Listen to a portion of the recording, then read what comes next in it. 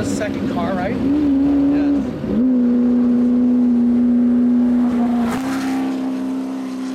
They're behind us. They passed us.